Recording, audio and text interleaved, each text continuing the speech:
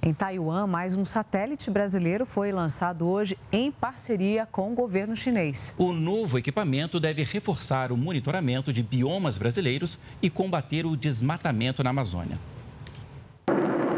O satélite sino-brasileiro decolou na madrugada desta sexta-feira da base espacial de Taiwan, na China.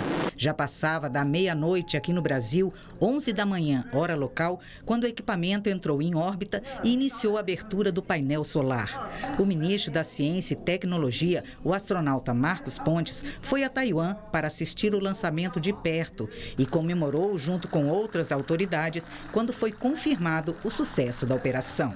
Aqui no Brasil, os cientistas do Instituto Nacional de Pesquisas Espaciais acompanharam todo o processo por transmissão via conexão telefônica. Foi no INPE, em São José dos Campos, que o novo modelo foi construído e passou por meses de testes. Na China, o equipamento foi montado e conectado ao foguete chinês, que o lançou ao espaço. Este é o sexto satélite feito em parceria com a China. O primeiro foi lançado em 1999. O Cyber é utilizado no monitoramento de biomas, de desmatamentos e de desastres naturais. E desta vez, o equipamento levou a bordo duas câmeras para garantir uma melhor captação e reduzir o tempo de envio das imagens.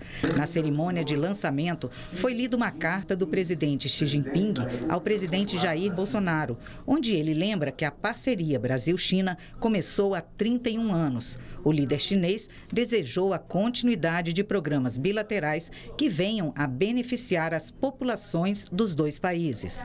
E o ministro Marcos Pontes leu a mensagem do presidente brasileiro aos chineses. Ao reafirmar a disposição do Brasil de seguir fortalecendo a colaboração com a China em diversas áreas de interesse mútuo, peço que aceite, senhor presidente, os votos de minha mais alta estima e consideração.